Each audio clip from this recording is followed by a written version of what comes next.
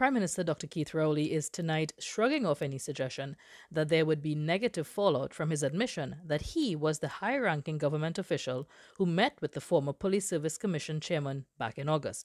That meeting led to the merit list for Commission of Police being rescinded. The Prime Minister's admission on Monday ends months of questions and speculation, but in response to questions on the issue today, the Prime Minister said that he did nothing wrong. He asked since when is providing pertinent information to a service commission considered interference. The Prime Minister said that he did not understand the mystery surrounding the meeting, as he was the only person from the cabinet who, to his knowledge, meets at President's house. The Prime Minister said that he would never tell the POLSC what to do, but they should have all the pertinent information in order to carry out its functions.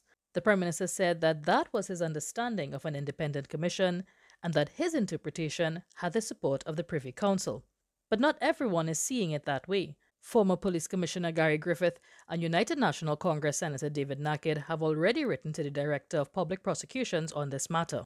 Former Commissioner Griffith highlighted nine issues to the DPP, chief among them whether the Police Service Commission had the authority to rescind the merit list given to the President.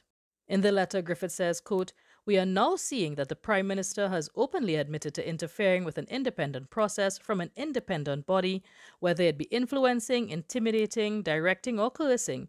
It means that he interfered, which can lead to someone being charged. This must be grounds for an investigation.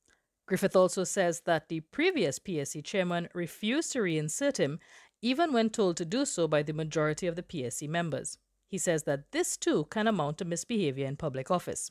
Meanwhile, Senator Nakhid says that in light of the admission by the PM that he caused the merit list to be withdrawn, he should now be investigated for misbehavior in public office.